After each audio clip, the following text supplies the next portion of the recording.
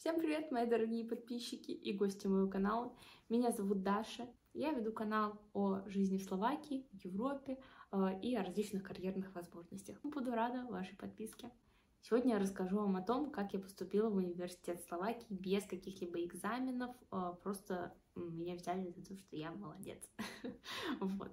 А, расскажу вам подробнее в целом историю своего поступления, какие были условия, а, правила приема, как долго я готовилась к языковому экзамену, как это все выглядело. А, поэтому сейчас готова с вами поделиться этим. Во-первых, хочу сказать, что перед тем, как поступить в университет, я один год обучалась в языковой школе. По идее, за это время, за этот год, я должна была достичь уровня B2. Ну, скажу так, сертификат я получила, конечно, я сдала этот экзамен, не все у нас в языковой школе его сдали, но я сдала. И я не думаю, что у меня действительно такой бодренький B2. Вот, э, что касается понимания, э, я, наверное, понимаю на уровне C1, просто все уже. А вот что касается говорения, нет ты не начнешь внезапно говорить через год, как просто настоящий словак. Я сейчас обучаюсь на первом курсе э, в университете универ... Я сейчас обучаюсь на первом курсе в университете Кирилла и Мефодия в Тернаве. А, это в целом считается хороший университет, не такой хороший, как главный университет Словакии, а это университет Каменского и СТУ, Славянско-технического университета. И, соответственно, есть еще хороший университет, Жилинский универ. Вот, вот обычно поступают вот в эту троицу. Почему я выбрала этот универ? Во-первых, потому что он принимал без экзаменов спустя полгода обучения словацком ты не сдашь никакую биологию, там, не знаю, химию или что-то еще на супер высокий балл. Вот у нас в физиковой школе был мальчик, который, ну, хорошо знал математику, но просто, я думаю, из-за того, что он не такого уровня, э, он не так еще хорошо владел языком, он, соответственно, сдал ее там на 50 баллов, по-моему. Это было достаточно для того, чтобы поступить в Жилинский универ, но я просто запомнила, что даже он не сдал, нифига себе, он в целом, наверное, самый умный мальчик э, нашей языковой школы, нашего потока был. Вот, соответственно, сдать вступительный экзамен действительно очень тяжело. Многие поступают, конечно, и медицинские, и все. Ну, просто я не хотела так запариваться. Так как я уже имею один бакалавриат, то есть мне уже 24 года был момент поступления в универ на первый курс, то я просто не хотела вспоминать, что там было в школе, потому что, само собой, я уже не помню ни химию, ни биологию. Мое главное условие было, чтобы там могли принимать без вступительных. В целом в Словакии распространена такая система, что тут практически во все вузы без вступительных, и даже там в Каменском, в СТУ на многие факультеты ты можешь поступить без экзаменов, если на а, то количество бюджетных мест, которые у них есть, подалось меньше студентов. Это очень распространенная ситуация, только на всякие популярные медицина, там IT. От, год от года ситуация меняется, но скажем так, если в предыдущих трех годах не было вступительного, то вряд ли он у вас появится. То есть сейчас не такой огромный поток а, студентов а, в Словакию едет. Вот, то есть если вы поступаете не в СТУ, не в Каменского и не в Жилину, вот тогда вас примут практически, там, не знаю, 95%, что вас примут. Вопрос в том, сможете ли вы обучаться. Главное условие для поступления именно в мой университет, в каждый университет условия меняются. Вот, вот мой универ требовал сертификат B2 словацкого я подалась, и мне сказали, донесите потом как-нибудь сертификат. И я вот уже полгода обучаюсь, меня зачислили нормально без этого сертификата. И я потом как-то так э, вот у людей спрашиваю, некоторые как будто без этого сертификата поступили, они просто подались и их зачислили в учение. То есть, скажем так, Словакия, они в целом как будто бы не те люди, которые будут цепляться за формальности. Конечно, это только мой личный опыт, пожалуйста. Вот, не будете за то, что так считаю. Вот, но Словакия, они в целом не любят э, как будто бы формальности. То есть чаще всего э, со словаком можно договориться просто на основе здравого смысла.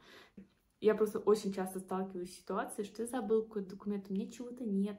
Ну, как любого человека принес не то, что нужно. Ну, и всегда словаки идут навстречу. Вот, не знаю, есть более, наверное, принципиальные люди. Вот словаки как будто понимают, что ты в адеквате, и там донесешь потом, все будет хорошо, не знаю.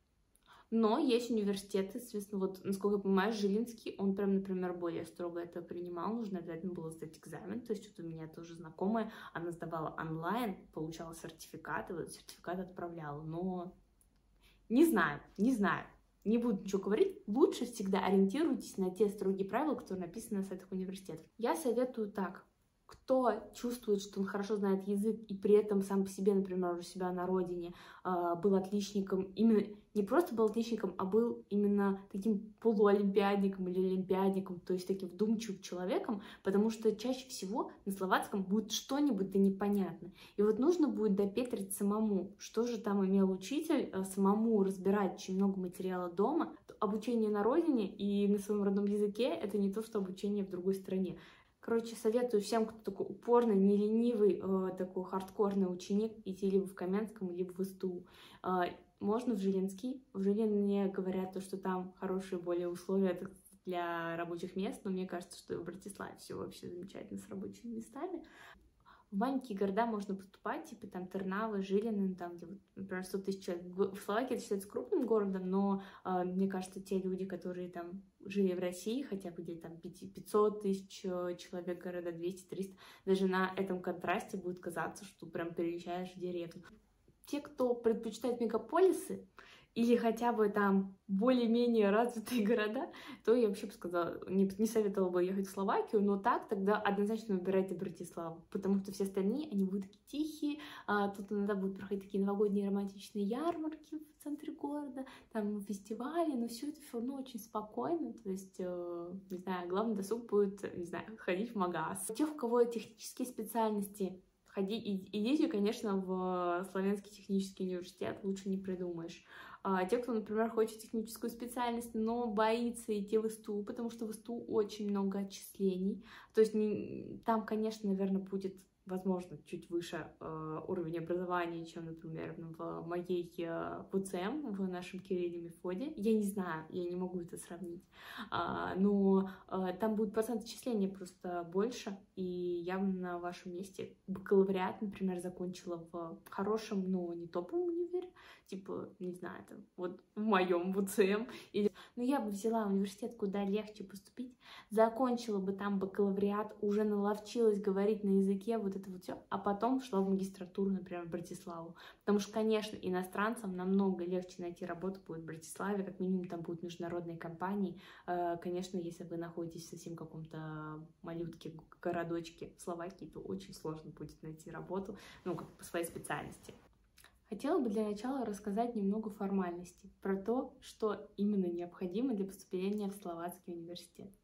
Во-первых, это знание словацкого языка. Если ты знаешь словацкий язык, то ты можешь обучаться бесплатно на любых программах обучения в слова... по, слова... по словацки.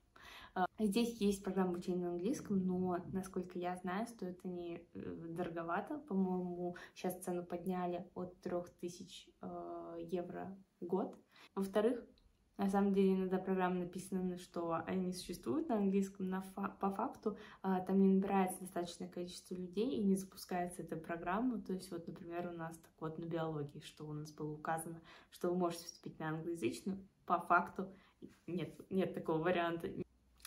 Во-вторых, нужно подготовить документы, то есть нострифицировать свой аттестат, а, подать заранее приглашку. А, по сути, приглашка — это заявка заявка на поступление в университет. Ее отправляют либо электронно, либо посылают в университет.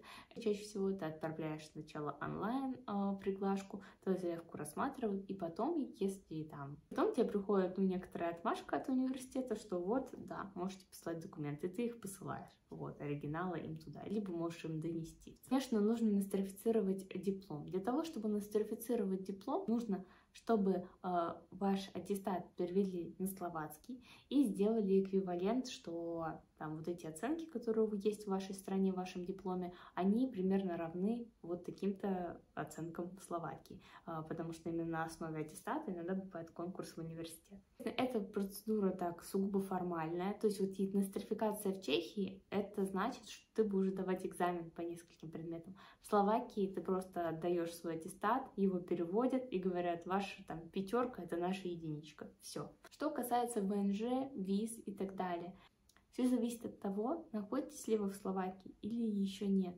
Потому что если нет, то, вероятнее всего, вам нужна виза, которая выдается с целью получения ВНЖ в Словакии. То есть это такая трехмесячная виза. Вы приезжаете в Словакию и подаете миграционную полицию на ВНЖ уже непосредственно. Там пакет документов собираете необходимый и, соответственно, удачно подаете. Это такая относительно несложная процедура. Возможно, вы уже обучаетесь в языковой школе в Словакии, и, соответственно, вам вообще не будет представлять э, сложности продлить это. Что касается меня, то я сначала год э, имела визу, которая для которая выдается с целью обучения языку, то есть так вот для языковой школы, а потом подавала здесь ВНЖ. Некоторые школы уже сразу выдают ВНЖ, Словакии подача заявок в университет начинается примерно в марте. Потом, соответственно, а, они их обрабатывают. А, обработка может занимать довольно долгое время, но где-то примерно в мае-июне чаще всего уже есть ответ. Потом еще можно подать приглашки иногда на тех программах, где, например, недобор, они продлевают и публикуют это на сайте. Вам пришел ответ университета, готовы ли они вас зачислить. Вас приглашают на определенную дату. А, вам приходит, во-первых, такой документ прямо а, на ваш адрес Словакии, а, что, мол, вы приняты, можете приходить зачисляться. Вот эта дата, вот этот день называется такой день записа. Запись — это как раз зачисление. И вот после того, как вы подпишете все необходимые документы, донесете все, что вам необходимо, то есть это может быть языковой сертификат, там, ваши документы о прошлом образовании и так далее, и так далее. Вот после того, как вы подписали все документы на этом запись, то тогда вы просто уже являетесь, по сути, студентом, а, вы сразу оплачиваете АСИК, и АСИК это, соответственно, такой студенческий, который дает скидки, ну и ждете 1 сентября, когда уже вы станете настоящим студентом уже официально. Э, обычно учебный год начинается примерно в конце сентября. Вот в этом году у нас начинался 25 сентября.